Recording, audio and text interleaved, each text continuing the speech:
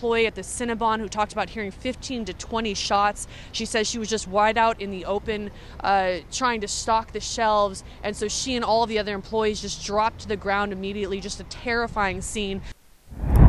You're watching the most shocking and informative LRJ TV news. Um, this story that you're going to hear is going to be very disturbing.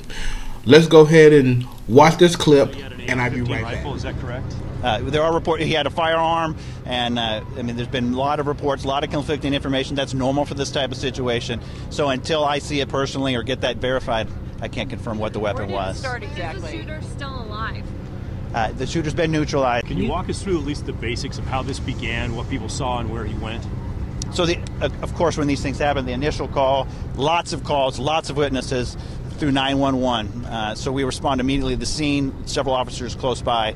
Lots of conflicting information about location, number of people, and that type of stuff. We do our best to work through that, respond to uh, what the witness reports say, what we hear and what we see, and uh, move as fast as we can to address and stop the situation. So the first officers ran in to try and find him? Yes. Do you know whether he was methodical about this? Was he firing wi- wildly? I don't have any of those details yet. I imagine that as the investigation continues and we can view video surveillance and that kind of stuff, we will get those answers. But as it stands You now, worked that's too- downstairs, and you heard shooting upstairs. Can you walk me through it again, please? Yeah, so um, I work downstairs in Kathy Jean, and um, we heard a couple of big bangs, and we thought that maybe it was just something falling from the top story down to the bottom. Everybody was looking in that direction toward the food court, trying to see what was going on, and um, all of a sudden we heard six or seven more shots and realized at that point that it was a gun and everybody just their faces just went into panic and started running and screaming so um, grabbed my coworker and we ran out the back the back doors and um,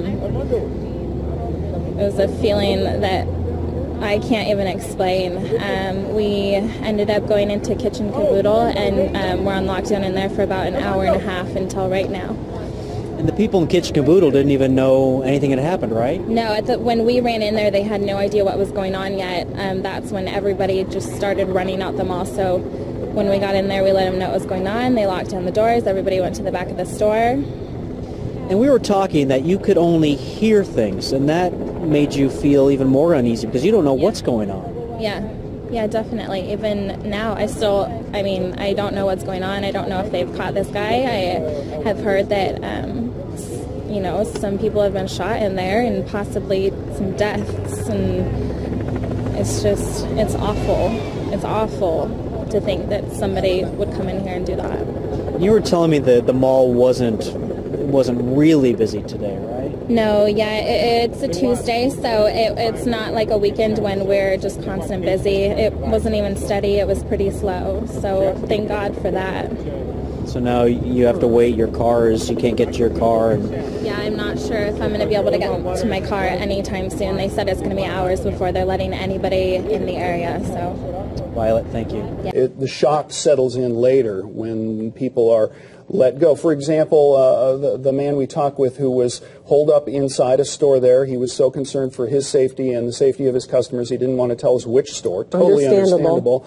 Very calm, describing what he heard, what he saw, the bodies, the sheets they had to put over those victims, and uh, the uh, the but the shock probably hadn't set in for that person just yet. Yeah, he was trying to be pretty quiet. You could tell on the phone too. Um, it's it's a chilling situation. So You can't sit here and tell me all those damn cameras in that mall ain't nobody sitting at the control room seeing a man come up in the mall with a bulletproof vest on holding a shotgun. Oh hell no. See the mall should be responsible for all of that. You see, America, we live in a society right now where people just have the I don't give a f- attitude. And that attitude that people are having is destroying the beauty of our country. Let me tell you right now, I go in the bank, sir, take off your hat, take off your glasses, and we need to see your face. Can you shave all of this? just to make a deposit. Security guy sitting there open the door for you. You leave it, he open the door for you. They make sure you don't have nothing. But all these mall securities want to ride around their little Segway. Ooh, look like to me you a special. Yeah, want to harass you. But when people up in the mall, you know what I'm saying, shooting people, nowhere to be found. I'm LRJ. Rate, comment, and subscribe because you, big like you did. I love you all. Peace.